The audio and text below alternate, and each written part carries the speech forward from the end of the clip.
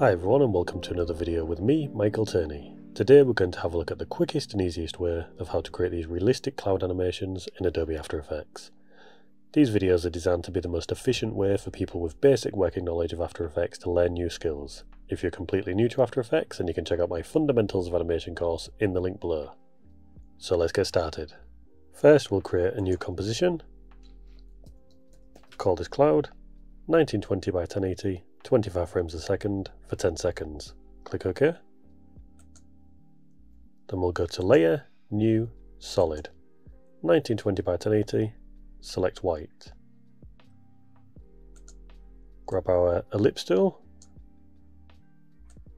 draw a cloud shape, bring the mask feather to 200. We'll go to our Effects and Presets panel and type in Turbulence Displace. The amount can be 200 and the size 50. We'll now place an adjustment layer on top of this. Drag and drop the Turbulent Displace onto the adjustment layer.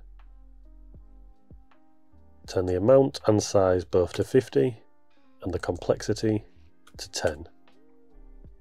And there's our base for our cloud. To get it animated, we can hold Alt and press the stopwatch on the evolution and type in time asterisk 50.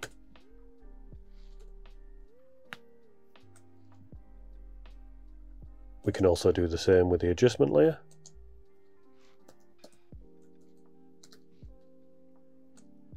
Feel free to play with the scale, opacity and duplicating this layer. And there we are, the quickest and easiest way of how to create some realistic clouds in Adobe After Effects. Thanks for watching.